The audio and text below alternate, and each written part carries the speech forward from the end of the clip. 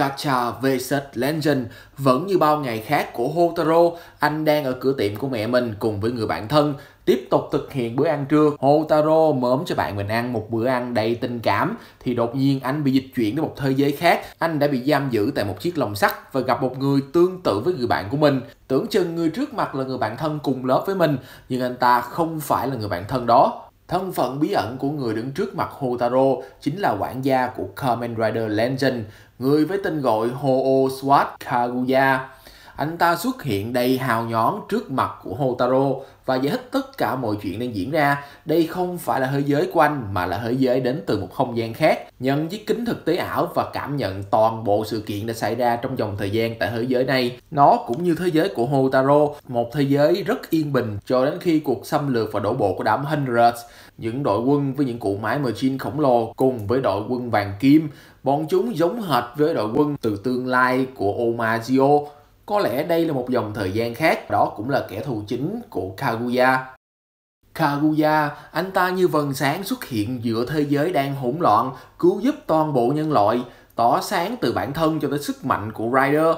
Anh ta đã giải cứu tất cả mọi người và trở thành nền tảng của toàn bộ thế giới, sống trong tòa tháp ánh sáng của bản thân, cũng như nghiên cứu hàng loạt công nghệ liên quan tới một vật thể giống với Decay River nhưng có kích thước cực kỳ to lớn nó giúp cho anh ta có sức mạnh của Rider tương tự như DK cũng như thu thập được những sức mạnh từ những Rider khác.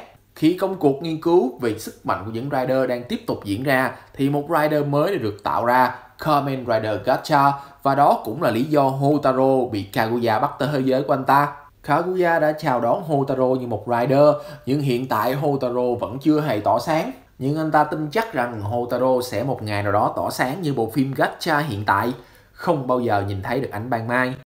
Không để cho cuộc nói chuyện này kéo dài thêm, quân của đám Hundreds đã tấn công vào căn cứ của Kaguya, bắt buộc anh ta phải tham chiến cùng với Hotaro.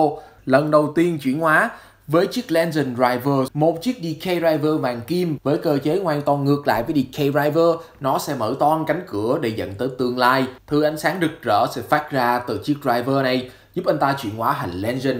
Legend là kết hợp hoàn hảo giữa DK và DN. Anh ta có thể triệu hồi những rider dựa trên khẩu súng của bản thân. Những rider mà anh ấy triệu hồi trong trận chiến bao gồm Kai, Kiva, Kaisa cũng như Hibiki. Tất cả những rider đều có kỹ năng chiến đấu vô cùng tốt cùng với những đòn tất sát trứ danh của họ không như những bản clone đơn thuần của DN thể hiện phần nào chất lượng về sức mạnh của Counter Legend.